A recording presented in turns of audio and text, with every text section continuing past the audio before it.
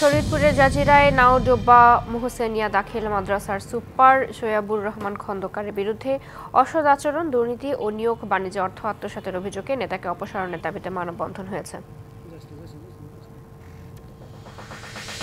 বাগেরহাটের চিতলমারিতে সরকারি প্রাথমিক বিদ্যালয়ের সহকারী শিক্ষকদের দশম গ্রেড বাস্তবায়নের দাবিতে মানববন্ধন হয়েছে। এ সময় উপজেলা নির্বাহী অফিসারের মাধ্যমে প্রধান উপদেষ্টার বরাবর স্মারকলিপি দেয় চিতলমারী উপজেলা প্রাথমিক বিদ্যালয়ের সহকারী শিক্ষক সমন্বয় পরিষদ। বৈষম্য বিরোধী ছাত্র আন্দোলনে লালমনির হাটে নিহত পাঁচজনের পরিবারের সদস্যদের সাথে মত বিনিময় করেছে জামায়াতে ইসলামী। সকালে লালমনির হাটের পুরাতন জেলা পরিষদ মিলনায়তনে এ সভা হয়। এ সভায় নিহতদের পরিবারকে নগদ অর্থ সহায়তা দেওয়া হয়। শ্রমিক বৈষম্য নিরসন ও দৈনিক পাঁচশো টাকা মজুরির দাবিতে কর্মবিরতি পালন করেছেন সিলেট ভ্যালির চা শ্রমিকরা।